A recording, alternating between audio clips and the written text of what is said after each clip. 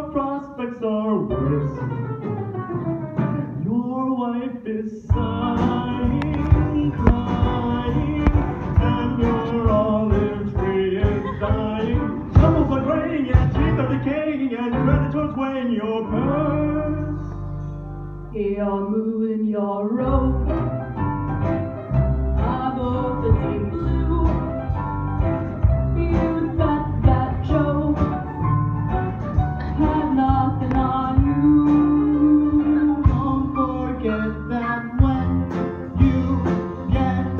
you.